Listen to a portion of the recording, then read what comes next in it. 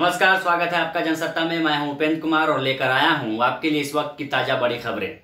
गुजरात के मुख्यमंत्री विजय रूपाणी ने इस्तीफा दे दिया है। उन्होंने कहा कि पार्टी में समय के साथ दायित्व तो बदलते रहते हैं। पार्टी में यह स्वाभाविक प्रक्रिया है। मुझे पाँच साल के लिए मुख्यमंत्री की ज़िम्मेदारी मिली, ये बहुत बड़ी बात है। रूपाणी ने कहा कि जेपी नड्डा का भी मार्गदर्शन मेरे लिए अभूतपूर्व रहा।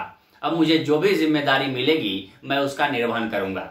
उन्होंने कहा कि हम प्रदेश का चुनाव नरेंद्र मोदी की अगुवाई में लड़ते हैं और 2022 का चुनाव भी उन्हीं की अगुवाई में लड़ा जाएगा। बता दें, रूपाणी ने 26 दिसंबर 2017 को दूसरी बार गुजरात के मुख्यमंत्री पद की शपथ ली थी। बीजेपी ने गुजरात में एक सौ बयासी सीटों में से निन्यानवे सीटें जीतकर बहुमत हासिल किया था। विधानमंडल दल की बैठक में रूपाणी को विधायक दल का नेता और नितिन पटेल को उपनेता चुना गया था। बीते कुछ दिनों से गुजरात सरकार में नेतृत्व परिवर्तन की अटकलें लग रही थी। केंद्रीय गृह मंत्री अमित शाह गुरुवार रात करीब आठ बजे अचानक अहमदाबाद पहुँचे थे। उनके गुजरात आने का कोई तय शेड्यूल नहीं था। रूपाणी के इस्तीफे पर पाटीदार नेता हार्दिक पटेल ने कहा कि कोरोना में अव्यवस्था और नाकामी की वजह से लोगों में नाराज़गी थी। ऐसे में भाजपा सीएम बदलकर लोगों को गुमराह कर रही है। उसने उत्तराखंड में भी यही किया।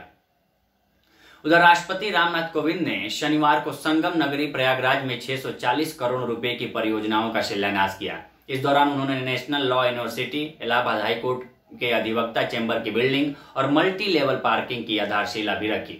उन्होंने कहा कि न्यायपालिका में महिलाओं की संख्या बढ़ाने के लिए काम करना चाहिए। इतिहास का ज़िक्र करते हुए महामहिम ने बताया कि 1925 में भारत की पहली महिला वकील का पंजीकरण इलाहाबाद हाईकोर्ट में ही हुआ था। राष्ट्रपति ने हाल ही में नियुक्त तीन महिला न्यायाधीशों के बारे में बात करते हुए कहा कि यह ऐतिहासिक है। महिलाओं में हर तरह के लोगों को न्याय देने की क्षमता होती है। सही मायने में न्यायपूर्ण समाज की स्थापना तभी संभव होगी जब न्यायपालिका में महिलाओं की भूमिका बढ़ेगी।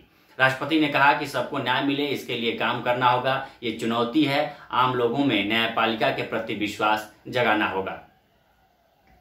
वहीं दिल्ली में लगातार हो रही बारिश ने लोगों को परेशानी में डाल दिया है। बताया जा रहा है कि यहाँ छियालीस साल बाद इतनी बारिश हुई है। मोतीबाग, आर के पुरम सहित दक्षिणी दिल्ली के कई इलाकों में के सड़कों पर पानी भर गया है और यहाँ से आने, जाने वाले लोगों को मुसीबतों का सामना करना पड़ रहा है। वहीं दिल्ली के इंदिरा गांधी इंटरनेशनल एयरपोर्ट परिसर में भी बारिश का पानी भर गया है। एयरपोर्ट परिसर के अलावा रनवे पर भी पानी भर गया है और पार्किंग क्षेत्र में खड़ी जहाजों के पहिए उसमें डूबे नज़र आ रहे हैं। एयरपोर्ट अथॉरिटी ने बताया कि एक इंटरनेशनल और चार घरेलू फ्लाइट्स को जयपुर और अहमदाबाद एयरपोर्ट डाइवर्ट कर दिया गया है। दिल्ली पब्लिक वर्क डिपार्टमेंट के अधिकारियों का कहना है कि जिन इलाकों में पानी भरने की समस्या सामने आई है, वहाँ मशीनों के ज़रिए पानी निकाला जा रहा है। दिल्ली में एक तरफ़ बारिश ने 18 साल का रिकॉर्ड तोड़ दिया तो दूसरी तरफ़ 46 साल में सबसे ज़्यादा बारिश का रिकॉर्ड भी बना लिया है। वहीं भारत में कोरोना मरीजों की संख्या में लगातार इजाफा हो रहा है। इस समय केरल में सबसे बुरा हाल है। केंद्रीय स्वास्थ्य मंत्रालय के आंकड़ों के अनुसार भारत में बीते 24 घंटे में कोरोना के तैंतीस नए केस सामने आए हैं। इसके साथ ही देश में कोरोना संक्रमितों का कुल आंकड़ा बढ़कर तीन करोड़ बत्तीस लाख आठ हज़ार तीन सौ तीस पर पहुँच गया है।